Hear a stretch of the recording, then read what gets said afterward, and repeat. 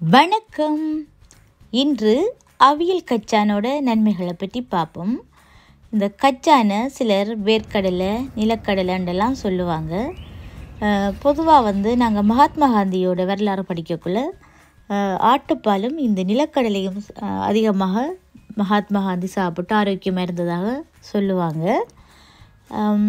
இப்போ இந்த கச்சானை அவிக்கக்குள்ள மூன்று தரம் அந்த கச்சானை அவிச்சு அந்த ஆவி மூன்று தரம் ஆவி வரும் வரைக்கும் விட்டு அதுக்கு பிறகு மூடி அவிக்க வேணும். தேவையான அளவு உப்பும் ஒரு கால் தேக்கரண்டி முழு மிளகும் போட்டு அவிஞ்சிங்கண்டா. அந்த கச்சான இருக்கிற சில அந்த நச்சுத்தன்மை அலர்ஜி தன்மை அதுகள் போயிடும் பொதுவாக நிலத்து கீழே விளைகிற எல்லாத்துக்குமே நீங்கள் அவிக்கக்குள்ளே முழு மிளகு சேர்க்க வேணும். அது அவியெல்லாம் சாப்பிடக்குள்ள. இப்போ பாருங்கள் எல்லாமே நல்லா அவிஞ்சிருக்குது நல்ல கச்சான். இந்த கச்சானை வந்து சிலர் அவிச்சு சாப்பிட்றத விரும்புகிறல்ல வறுத்து அல்லது பொரித்து சாப்பிட்றது தான் விரும்புவாங்க.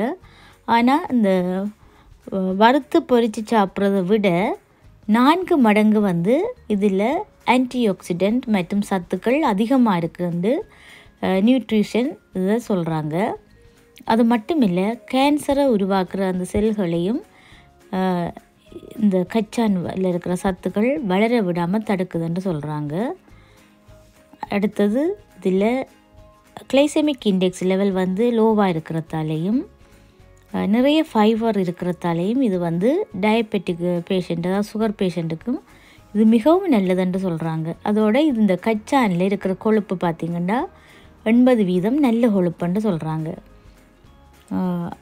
அது மட்டுமில்லை இது ஆண்களுக்கும் விந்தணு உற்பத்திக்கும் விரைப்புத்தன்மைக்கும் ஆண்களுக்கும் மிகவும் உதவி செய்யுதுன்னு சொல்கிறாங்க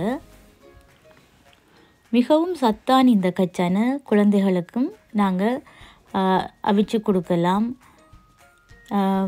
வயதானவங்களுக்கும் கொடுக்கலாம்.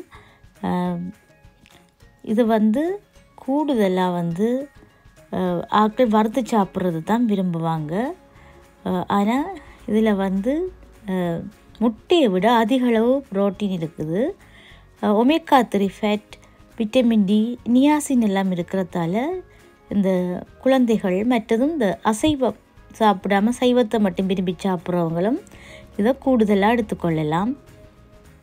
இவ்வளவு நன்மையுள்ள கச்சானை கட்டாயம் நீங்கள் எல்லோரும் கண்டிப்பாக முடிஞ்ச வரைக்கும் அவிச்சு சாப்பிடுங்க.